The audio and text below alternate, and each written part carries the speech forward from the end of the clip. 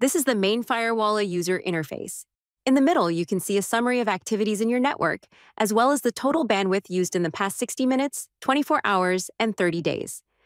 This can help you find out what your network is doing and which of your devices is overusing the internet. By tapping on Blocked, you'll be able to find out what is being blocked on your network and where the blocked traffic is coming from. On the top of the screen, you will find an overview of your network performance and quality. You can tap into the widget to get more details. Here is a quick summary of network performance numbers. And below this, you will find all the recent network events. In case you have any issues, these events will help you to find out why. Firewalla measures your network speed periodically. You can configure and see the test results here. In addition, you will also be able to test network latency, packet loss, and Wi-Fi speed.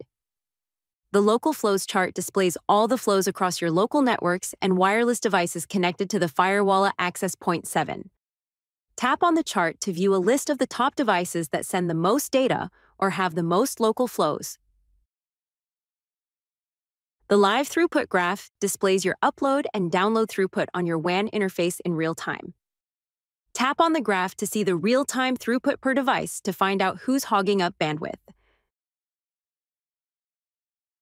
Each button below provides a different function. Let's take a look. The Devices button shows you a list of devices and device groups on your network. You can drill down individually and see detailed activities. If you're into technology, you can even look underneath the device and see exactly where it is communicating to and what is being blocked. From here, you can block a device from accessing certain sites, or you can block by application or activity type directly. The Alarms button will display all your security and activity alarms. Firewalla can alert you to many things, such as hacking attempts on your network, someone watching adult content or playing games, or a new device coming onto your network. Tap on an individual alarm to bring up the detail page. Here you can see who, when, and where the activity is coming from. Based on this information, you can tell Firewalla what action to take when similar activities happen in the future. If you need help understanding an alarm, ask Fire AI to explain it to you and provide self-diagnosis steps to take. The Rules button allows you to manage access control rules. The rules action can be either allow, block, or time limit.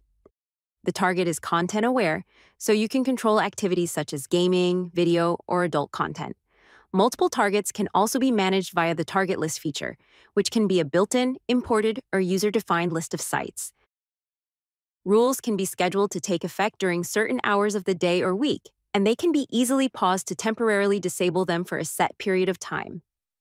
If you want to manage a specific family member or employee's access, you can use the User button to create a user to track and control their application usage, including time limits on certain apps and real-time activity tracking.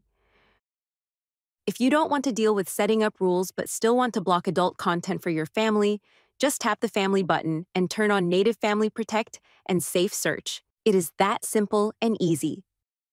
Let's take a look at the Network button. The Network button can be used to create and manage LAN, VLAN, and WAN interfaces in your network.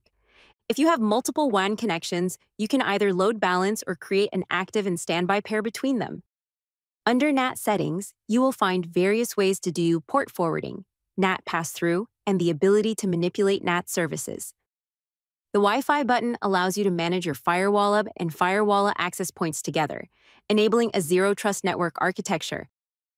You can create multiple Wi-Fi networks, set custom SSIDs and passwords, and automatically assign devices to a group, user, or network. The Protect button helps keep your network safe with minimal effort. Ask Fire AI will help you understand more about your alarms, domains, and devices on your network. And Active Protect will automatically analyze and block all high-risk network activities. The Routes button can help you define traffic routes based on network flows or content type. For example, send all YouTube traffic from a device to a VPN, or send all gaming traffic through a faster WAN interface.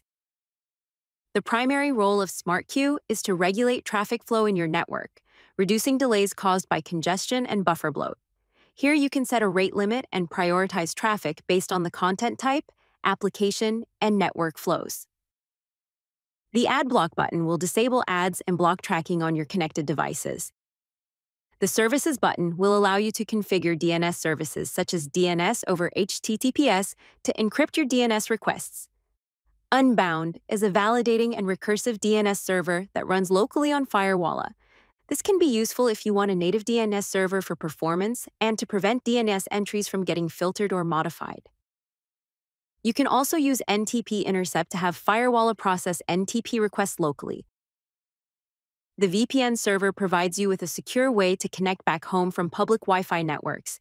You can surf the internet and access all of your home devices under the protection of Firewalla.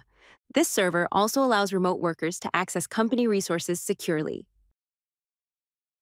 The VPN client allows you to connect remotely to a third party VPN service from home via multiple protocols. You have the flexibility to send all or partial network traffic through VPN. This feature also enables you to connect multiple Firewalla boxes together via the site to site VPN service or add multiple VPNs to a group for failover. The scan button gives you ways to inspect your network more deeply. It can help you find open ports and possible device vulnerabilities. If you are having issues with your Wi Fi network, you can easily use the Wi Fi test button to dynamically test for dead spots and detect Wi Fi roaming. In addition to these core functionalities, tap on the plus button and you will see all of Firewalla's supported features, including new device quarantine to lock down new devices. If your ISP has a monthly data usage limit, you can use the Data Usage button to track an alert before you hit that limit. The Data Usage feature also stores monthly and daily internet usage in case you want to dig into them further.